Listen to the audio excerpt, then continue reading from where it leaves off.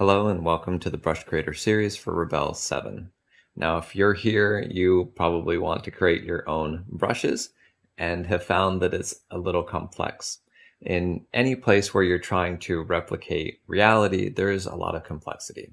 So I want to start with a short little illustration. One of the best things on the planet is fresh, hot, homemade bread that's made well there's a deeper satisfaction to eating some bread that you spent some time creating. And in the same way, creating a brush of your own can have extra meaning. It can impart some deeper emotion and significance to the work that you're creating with that brush that you created by yourself.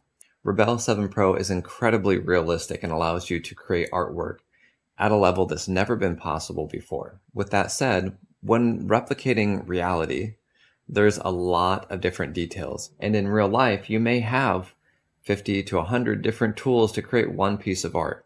And so here in the software, there's a bunch of different levels, a bunch of different settings, and a bunch of different ways you can make one tool, your stylus, and the screen emulate that entire art studio.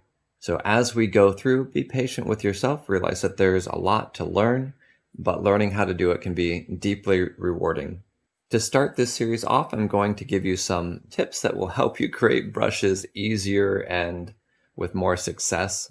So let's go ahead and jump right into those. Uh, the first thing that I want to talk about is how to save your brushes while you're making changes. All right, so here you'll notice I have a bunch of different brushes, all with almost the same name. And so what I will do is I'll start with a brush that I like and usually I would suggest picking one from the defaults.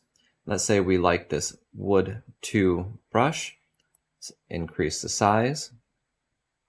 And we like it, but we want to make this personal. So here's what we're going to do is we're going to start by choosing open panel menu, copy brush preset to favorites. Now let's adjust it in our favorites. Notice that it is appended here into the selected folder I have in favorites. If you don't have a selected folder, you can create one by adding a group. And now let's select the brush that we just imported over. And now let's start from here to make changes. Now, when you're adjusting a brush, it's good to start from a middle ground. You don't want the brush to be maxed out in size or opacity and then adjust the opacity settings inside of the brush creator this creates inconsistent, hard to understand results. So we want to put these somewhere in the middle. So over here in the properties panel for the brushes, you can see we have size, opacity, water. We have these different brush modes, paint, paint and mix, paint and blend, blend, and erase. These four to the left have their own settings.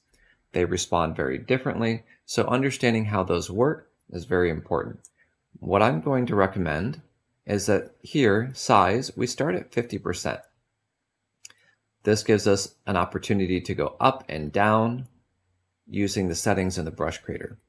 All right, so here we can work with this with an understanding that we can increase the size and decrease the size, but we want to start right here.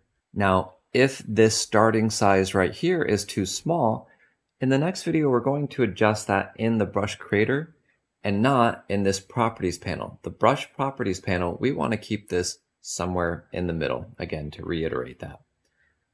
Now these settings, size and opacity and water, these are all saved with the brush, which we'll talk about more in the next video. Right here, save volumes and paint modes. This is very important if you want these modes right here to be saved, as well as the size, opacity, water, pressure if you don't have a stylus, but you're using a mouse. And length if you want that brush stroke to end on its own.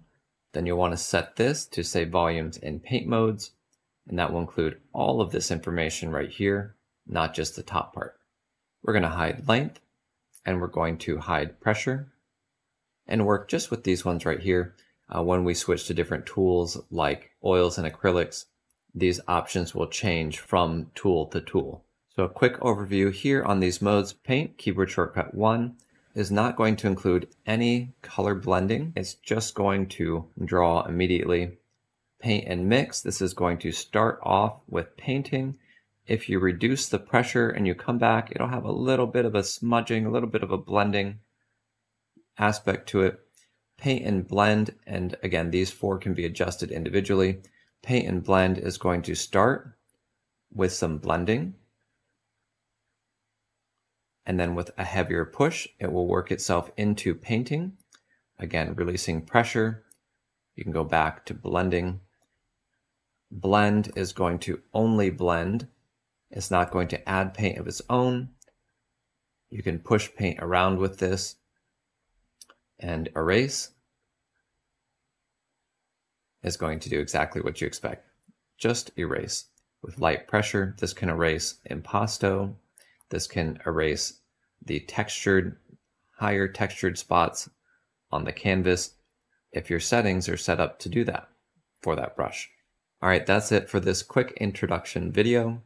In the next video, I'm going to be going over some of the frequently asked questions for brush creation. Some of the things like how do I make my lines stabilized or smoother, less wobbly?